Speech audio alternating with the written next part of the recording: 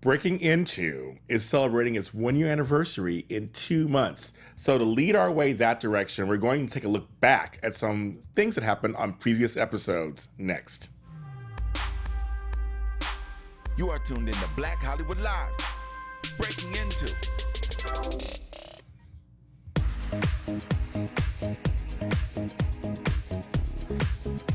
Ah, I love this song. It's a good one. Has a good message. Good song with a good message and a good beat to it, of course.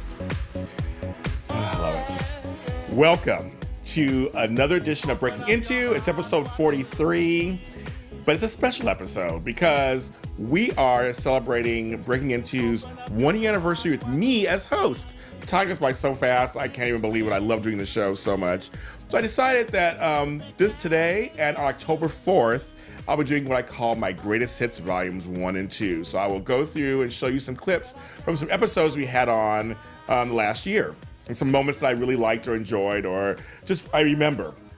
There's so many to choose from too. Trust me, there's so many to choose from. So today we got 11, 11 moments we're going to share. 11 is my number. I love 11. That's my number.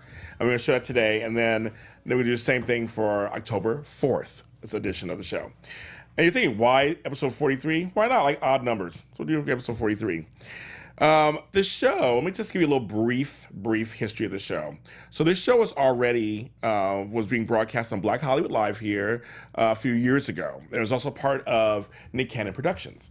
And then it went on hiatus. And then I came to Black Hollywood Live via AfterBuzz Media Networks, because I do shows on the other sister networks at Buzz, AfterBuzz TV, Popcorn Talk, and Book Circle Online. I talked to President Dario Christian, who um, is just a great guy, and I said I want to do some work with you guys. And he said, I have a show for you that will match your talents and strengths. I'm a certified life coach, and I getting into the nitty gritty of like what's going on, and it gave me Breaking Into. Now, originally, Breaking Into was a show about breaking into an industry, giving you tips and tricks, and just like breaking you're breaking in. You want to know what's going on? These are the ways to do it. Well, I have completely kind of modified a little bit. So now we're breaking into the person, we're breaking into the people. So the guests that come on, we're breaking into their lives in their industries and kind of how they got in, what they're doing once they got in, what what tips and tricks they have, of course, just their philosophies and just what makes them tick.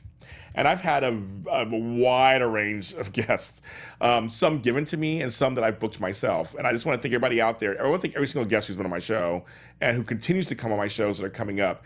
It just makes this show so worthwhile to share with you um, their stories and what they're doing. Um, so that's that's basically the brief history of this show, and so we're gonna start with my first clip, just basically of my first episode back last November. Let's go ahead and show that clip.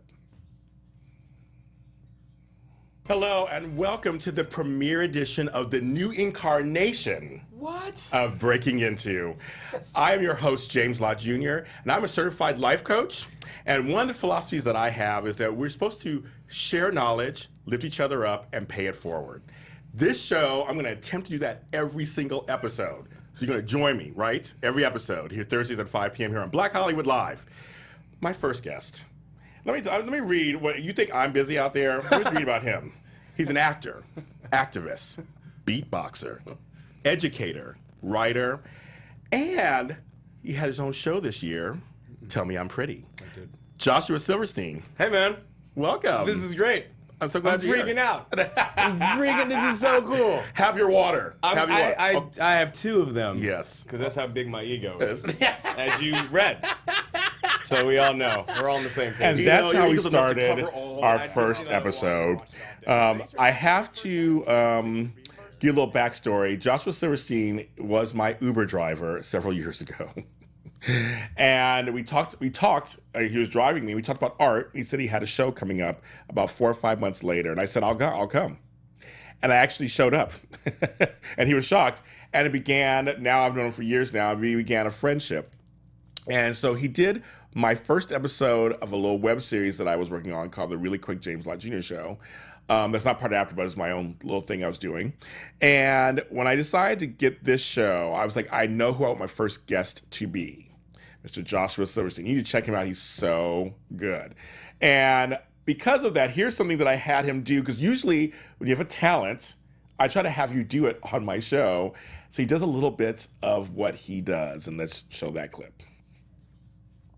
Yeah. But you're a trained professional, and if you don't want to, you don't have to do it. Of course I will. Want me to beatbox for you? A little, a little piece, please. and you can look at that camera, like right over there, and do a little piece for you. Here we go. Little little beat dropping from from Joshua Silverstein Yes. as my lips are dry. Hey, yo, drink some, drink some water. I'm gonna drink some water. Mm. There we go. Here we go. Uh, mm.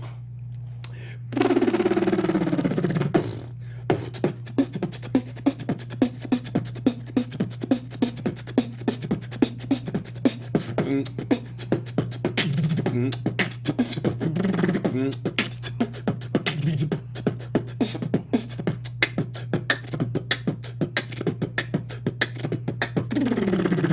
Yeah. There you go. I love it. I love it. He's so talented. If you ever get a chance to see him, he's here in LA. If you get a chance to see him, you need to go run, not walk and see him. He's so good. He does a lot with beatboxing and rapping and talking and acting and all of his work.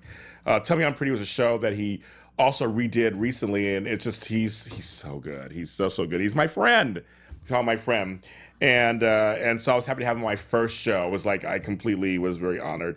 Um, for him and all my other guests that I showcase on the show, you can go to our Breaking Into Facebook page for more information on them and where you can find them.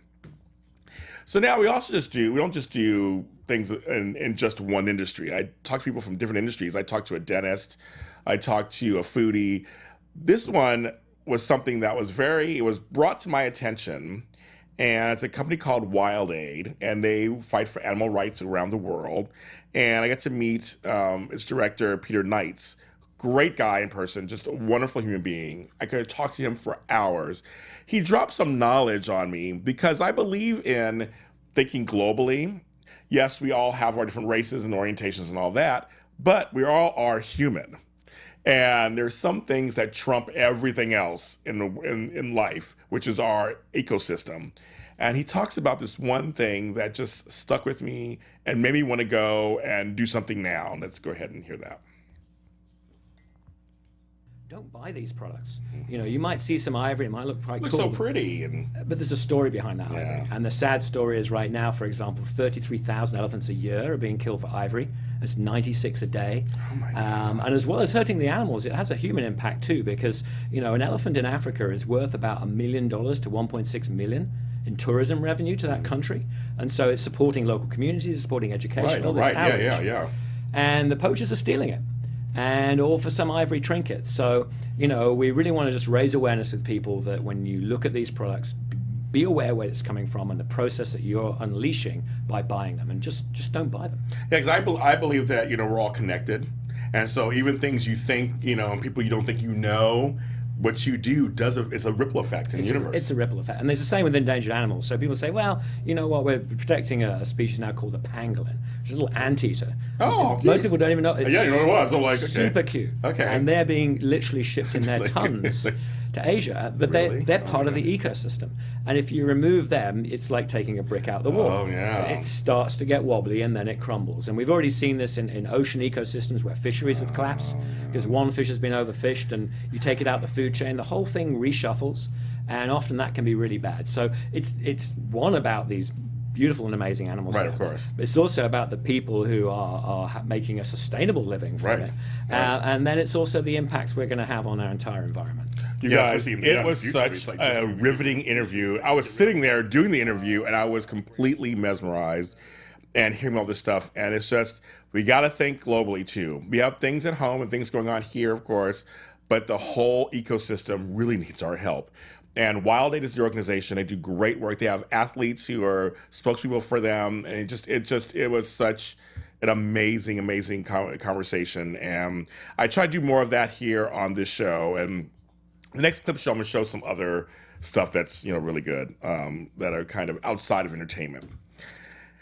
Well, this next section I call my singer section. So um, I try to show diverse musical talent on this show because uh, we like all kinds of music. I like all kinds of music, and I want you know showcase people um, who are doing great things. And I get to showcase a black male opera singer.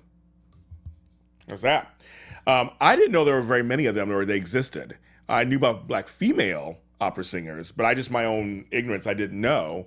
And I met him and I got to see him perform live, and he's amazing. And his name is H. Waring Sharp. And he clued us in on the whole experience. We get to learn about him. And of course, I asked him to sing a little something for me, and it made the whole studio kind of stop in their ear. So let's go ahead and hear that. tell you that you can't do something. Yeah. So when someone tells you that you can't do something, that that is too much rent that they're having in your head. That's mm, too much. Just, yeah, just too much. And no one knows your ability but you and the God that lives within inside of you, what you can do. And you can do all things. You can do all things that you put your mind to. Um, I don't like when people say, "Oh, you're not able," or "You are not allowed," or "You can't do something," because what they're doing is they're they're throwing their own insecurities and their own deferred dreams onto you, mm-hmm. and I don't have time for that. Why would you try that? It's just too hard. Ex- ex- like- exactly. Like, well, why would you not? Yeah, because somebody you- does do it. Exactly, So, I I know it's course. bad English, but Some- uh, someone does Some do it. do it. Somebody do Do it. Exactly. Somebody That's better. English. Somebody do do it. exactly. Yeah. So, Yeah, but, but someone to, to throw their own deferred plans and Yeah. dreams onto you, like, ugh, that's nasty. Don't do that. I So, agree. Very good. I like, I like that. Just do it. Do it. Can you do a little something for us? What? Hey, um, come on. I know, just surprised. I'm all a little something. What? It's just something, nothing, nothing too long, but a little something to give us a taste of your. You did a little bit earlier, a little tiny bit of your vocal talent. Okay. Just a little, a little, Just a something. little song. Yeah, a little, something, something. Oh my gosh. Okay, this is a wonderful song I, I learned years ago. Wonderful spiritual. Okay, I like it. Over my head, I hear music in the air. Over my head, I hear music in the air. Over my head, music in the air. There must be a God somewhere. Oh my God. I mean, come on. Amazing, amazing guy. He's performing all over Southern California. H. Waring Sharp is his name. And he is just so good. Oh my God. He just has a great voice. It made everybody stop in the studio when he was when he was singing there. I was very happy to have him on my show and watch him continue to grow his, his repertoire. Um, this next one's kind of cute. I invited my former Edition Days co-host Mark J. Freeman to actually co-host the show with me. The one time I had a co-host. I usually do this show by myself. So I actually invited him on the show because he knew of the guest, Chrystee Pharris, who's best known for um, the soap Passions, the TV show Queens of Drama. She's a great stage actress. She's a talent teacher, acting teacher, coach. She's like out there, she's working it out. Um, and they were friends, and I and I talked to her, and so I invited him on, and she decided because it was actually Mark J. Freeman's birthday to do a little song for him. Here we go. Go ahead. Okay. Happy birthday to you. Happy birthday to you. Happy birthday, dear Mark. Happy birthday to you. Oh, beautiful. Happy birthday! Oh my god! I had no idea she could sing. I had no idea. I'm like, wow. And she is just a lovely, lovely person. Great woman, great actress. She is doing the hustle. You just you need to if you see her in anything, support her. She's so good and a great friend to the show. Then I had one of my full circle moments. I get to do this show sometimes. I get to meet people that I've admired or liked or enjoyed over the years. Yes, I'm in my late 40s. I may not look it. Um, so I've been around a long time. And so there's some people that come across my desk, as this next performer and group did, that made me say, yes, there was no thought process. When can we get them on? Um, there's an LA Music Soul Festival that happens here now in Los Angeles, and they were one of the headliners. Um, if you guys are not old enough, uh, this group was called Loose Ends, and they were big in the in the 80s uh, on the on the charts. They had songs like "Slow Down," "Hold On Wild," "Hang On Wild Child," "Mr. Bachelor," all these different songs, a bunch of hits, and they still perform today. They do a lot of stuff, and their voices were amazing. They sang several times in my episode, and it was like listening to angels sing. But I had them sing one song for me uh, towards the beginning of the show, and that's Miss Jane Eugene, who's sitting next to me, who's a lovely person and warm spirit. And let's go ahead and show that.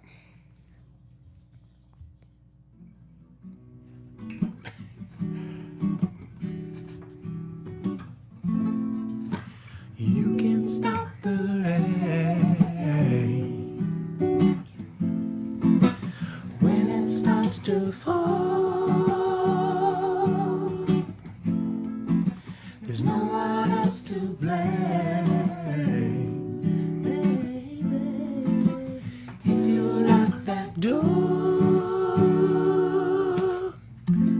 That was beautiful. Okay. My ears. Now, the male singer, Robert G, is going to be on my show solo September 20th. So this month. He's going to be my show solo. We're going to talk about his musical career. He has an album out and all kinds of stuff. He's a great guy.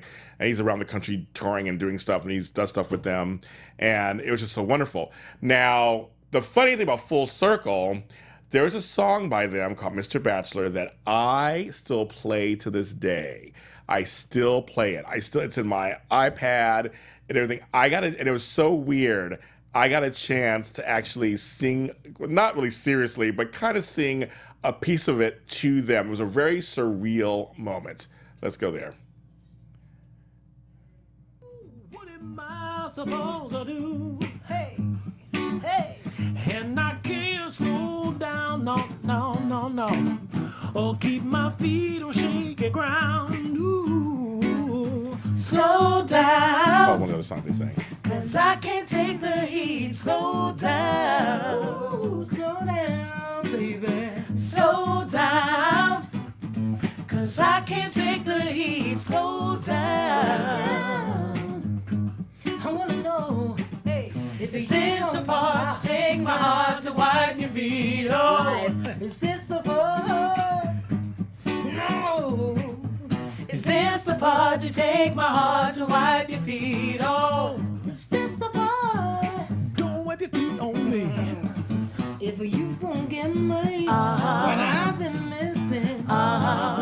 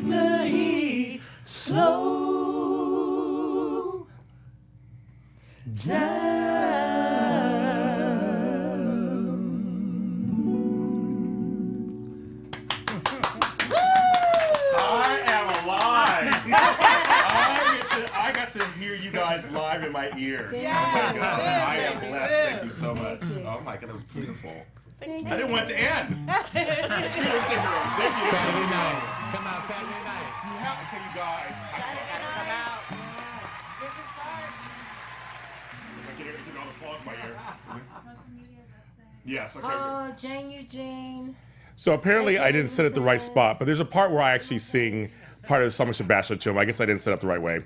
But uh, you can actually see that. I'll just make you go to that interview and you can actually see me actually sing the song to them. It's like it's like two seconds, like three seconds of me singing back to me. And that's just like full circle moment for me. So it's, it's, you can go watch the episode. It's really good. The whole episode's really good. She actually talks about Boy George, you know, the advice that he gave her back in the 80s.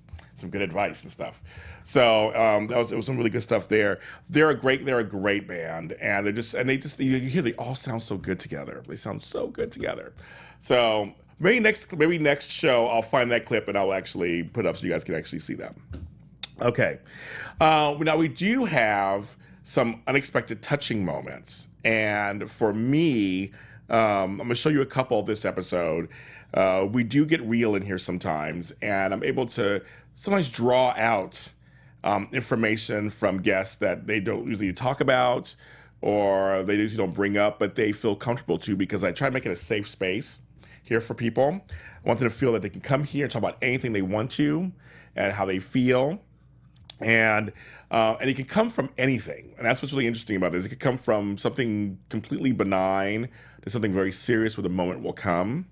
And the first moment is uh, one um, from Miko Branch. She is the CEO and one of the founders of Miss Jessie's Hair Care Products.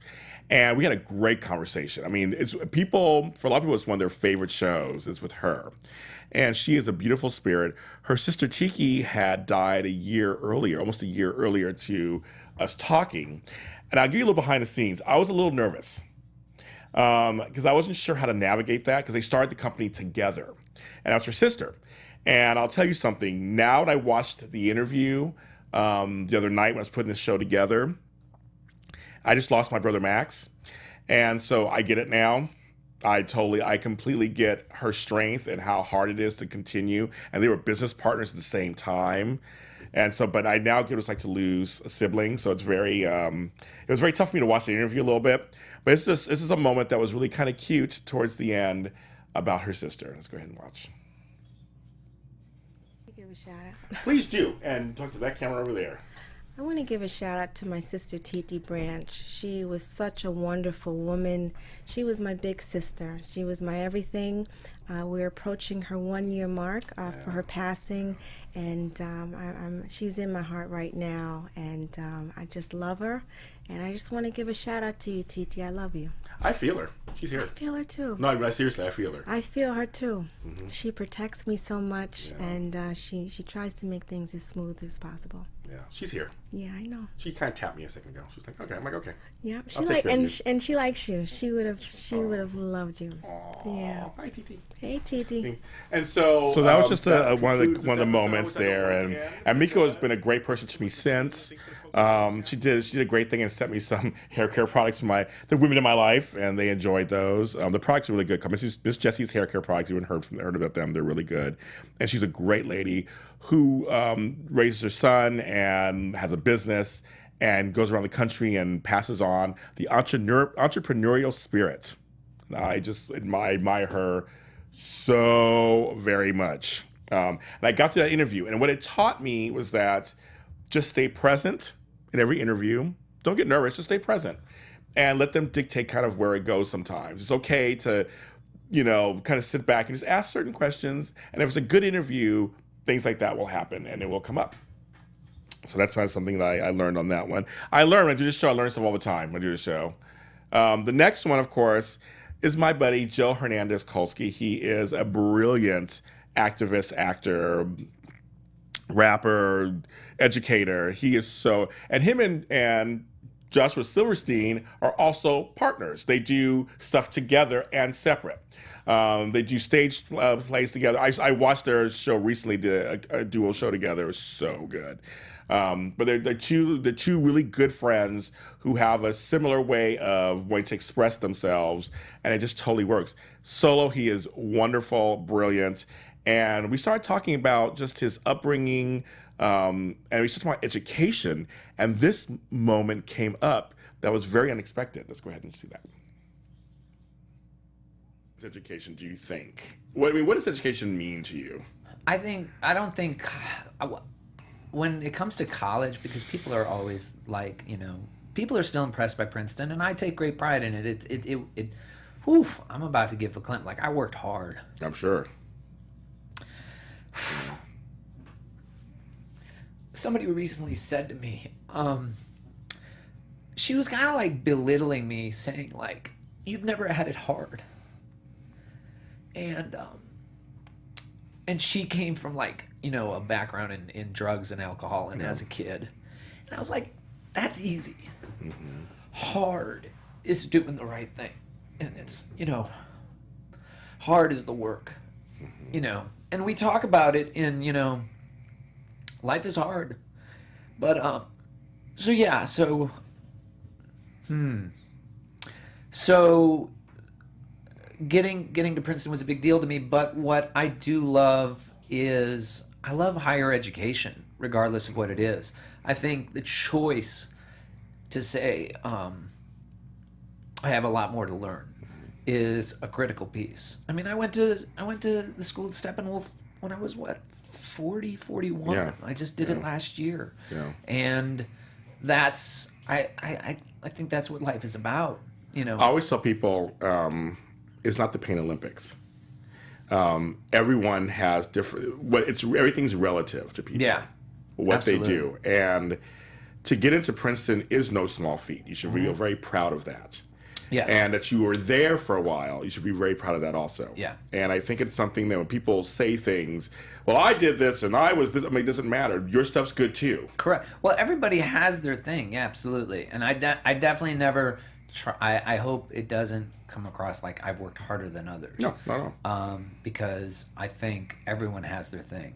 But it was really interesting. I was thrown by, you know, there's still this association of the, you know, uh, growing up hard being very specific imagery. yes. yes. And I, I'm not saying like, I, yeah, I've had some wonderful support that I don't take. So that's just a great interview we had, and he got a little Um, verklempt, of course, I uh, talking about education and succeeding, going to an Ivy League school. So that's something that was uh, really. We joked about it later when I have on a show later on, but I really that makes me teary eyed just watching it again. I just think that uh, we work really hard, and we come from backgrounds that aren't considered the norm, and you get to places that are really well known and and high up there. It is. It can almost bring you to tears sometimes, and. I just I just appreciate that. I appreciate that he was so open on my show and was and he was very present in my show. And I a lot of my guests, I, I thank many of them for that because they just come on my little little show here, um, Black Hollywood Live, and they sit down, they expose themselves, and talk about how they feel. And that's the reason why that's what the show is all about for me. So that makes me very happy. Um, the last clip we're going to show is just a clip. This is my buddy. He's been on a couple of times now. He is someone who I share a birthday with. kind of funny. And he is just one of the best guys I know. He's become my friend now, which is just like amazing to me. He's one of the original lockers. I mean, this is a guy who created and helped co create a whole new style of dance. How many folks can actually say that? Not many. Between him, Toni Basil, Fred Rumberry, and others, they were the hit of the 70s. And then, of course, he did break in movies and he was in hit in the 80s. I mean, he's been around. He did the Madonna tour in 87. Like, he's been around for a long time. He is out there just he's out there teaching and coaching and he just won a lifetime achievement award hip hop hip hop award it's just um, he's an amazing guy and he looks amazing at 61 like i wouldn't even guess it at all and he's just, he's just really my buddy adolfo Shabba-Doo Quinones is his name. You probably have seen him in the Chaka Khan video for I Feel For You and things like that. But um, this is a full, this is why I do this show sometimes. I get to meet people that I've admired for like 30, 40 years. And this is kind of just the beginning of the show that we did. My guest, I'm trying not to fan out too much because I've been a fan of his for a long time. He was one of the original lockers. And now, if you know who they are, we're going to show some stuff from them. But those you do remember, yes, we Fred Berry was in there, Toni Basil was in there. I mean, they started the whole pop lock thing, which I never caught on. I tried to do it, and I just didn't. Didn't work for me. I was still dancing the hustle or something. Um, he also, you may know, see, may know him from the Breakin' movies, Breakin' and Breakin' 2. He's also in Chaka Khan's video for I Feel For You. He's also part of Madonna's tour in 1987 for Who's That Girl, which I first saw you there live with the moving walkway thing you were dancing on. I was like, how do you guys not fall on that? Also did Jimmy Kitty's uh, uh, MTV sitcom. And choreographed at the Oscars for 3 6 Mafia, who actually won that year. The Oscar where he started out there for a pimp. I mean, he's doing all kinds of things. Great guy. And fellow Taurean, as myself, Shabba-Doo. Glad to be here. Welcome. Well, thank you so much. I'm so happy to be here. You know, you have a great name, Adolfo Quinones. We love that name. But you're Shabba-Doo. That's, we, that's how we know you. Yeah, yeah, yeah. Uh, is my moniker. Uh, but uh, again, I was born uh, or named by my parents, Yes, Adolfo, Adolfo. Gutierrez Ooh, Quinones. I love it. You know. Sounds delicious.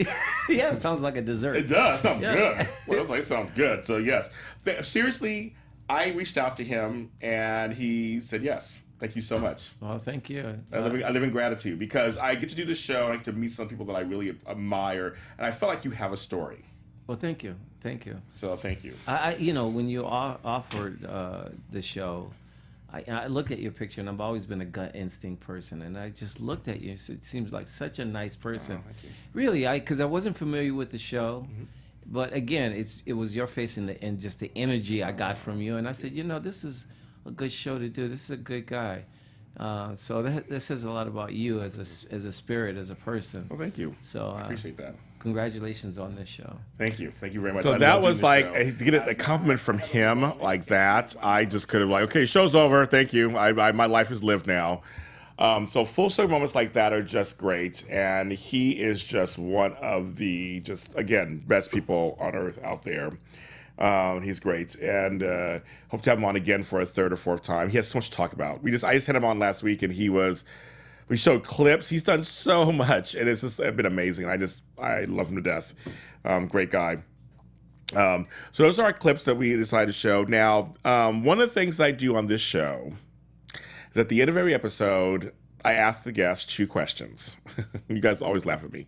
Oh, before I get to that part, just one clarification I want to make because someone mentioned online a while back. When I was on my phone during Ends talk eh, singing the song, I was actually Snapchatting them singing it. I was singing it to my Snapchat fans. So you see, you see me looking down. I was appreciating the song, of course, but I was Snapchatting the kind of pieces of the song so the fans could actually see that separately. So that's I just want to clear that up. But yes, back to my two questions. I started this in my radio show, the Super Organized Universe radio show, uh, last year, where I wanted to find something very unique that would be a through line throughout my show because I believe in language. I believe in language so much that I think language can uh, divide us, language can bring us together, language can separate us, language can pull us forward, hold us back. I'm a, just a big fan of language and words and being a wordsmith. So I always ask uh, guests on. I did on that show, and I do it now. on I'm breaking into, and one day I'm gonna do a montage of all everybody's answers. I think I'm gonna I'm gonna do this one day. That's my thing. Um, but I don't ask. I don't tell them in advance unless they watch the show and know that's what's going to happen. But I don't tell them in advance, and I ask them at the end of the interview two questions. One is, uh, what word do you think we should take out of the English language? And the second one is, what word should we bring back or say more of an English language? The taking out is always it seems like the easiest one. People just like, don't take out, take out this word, take out this word. But what we should say more about usually requires more thought. It's very interesting. So I am going to actually do it too. I'm to, I'm going to find. Everybody's to ask me what are my two words, and I'm going to say them. Now, you might say, well, James, you invented this thing, so it must be easy. It was hard. Oh my god, it's so hard because I've heard all the answers. I don't re- repeat any of the answers. So I'm like, uh, okay. Um, but this is so. Oh my god, it was it was so hard. But I do have two words, and um, and the first word, what word do we think you should take out of our vocabulary? It just bugs me because I'm not I'm not really in. I mean, maybe I'm old, but the word lit. This is lit. That's lit. I'm just I'm so over it already. I didn't like fleek. I didn't like lit. I didn't like there's just certain words that was like, oh Oh my god, I'm an old person. I don't care for it at all. So I think lit should be taken out. Now, what word I think you should bring into our vocabulary, say more of, is unconditional. That's my word. Unconditional. I feel like if someone's in your life and you're loyal to each other and you care about each other or and or love each other, everything should be unconditional. I mean, not saying you should get away with things and just like everybody do whatever they want, but you should still always love them or care about them unconditionally. But try to work out whatever's going on because everybody has issues and problems and things happen, you know, of course. And I think it's just it, it- people throw friendships and relationships away so easily that I think that the ones that are not even they're not even toxic. Much about toxic ones or things that are horrible, but much about just regular friendships that they say one thing and you're like, okay, I'm done. I don't want to work on it. But I feel like if you're if you love like you like you love your children, you love your parents, but there should be an underlining thought of just unconditionalness out there. Just just something unconditional. Just be out there. And I, I, like- I like the word. And I have some friends in my life, people in my life that treat me with unconditional love and support. And I think that's a great thing. You should say that a lot more. So that was our first edition of um, Breaking Into's Greatest Hits Volume 1. Volume 2 will be on October 4th, same time period, 5 p.m. here on Black Hollywood Live. I'll do probably 11 more clips of some great stuff uh, and, uh, and kind of about that. And then on November 8th, is our one year anniversary, and I'm planning something big. It'll be here on Black Hollywood Live again, and it's going to be, I'm to have, I think, five guests, four or five guests come in studio live. And uh, we're gonna have a good time. You guys have a good time with us and have some drinks and you know what's going on and celebrate the year of being on this wonderful network. I want to thank uh, Daryl Christian, Jesse Kennedy, Tiana Hobson, Courtney Stewart, all the folks at Black Hollywood Live that just you know support me and and and this show very much, and all you fans out there who tune in and watch and comment. I appreciate that also. To all the PR people who uh, help me get the guests and, and help promote this show, it means the world to me. To all the engineers, including Steven, who's in there right now. Uh, Steven's in there right now, who's the engineering. You guys are, are great. And you guys out there, thank you so much. And I will see you for a regular show next Tuesday. Thank you. From producers Maria Menounos, Dario Kristen, Tiana Hobson, Keven Undergaro, and the entire BHL crew, we would like to thank you for supporting Black Hollywood Live, the first online broadcast network dedicated to African American entertainment. For questions and comments, contact us at info at blackhollywoodlive.com. Like us on Facebook, tweet us, or Instagram us at BHL Online. And I'm your BHL announcer, Scipio. Instagram me at Planet Scipio. Thank you for tuning in. The views expressed here are those of the host only and do not necessarily reflect the views of BHL or its owners or principals.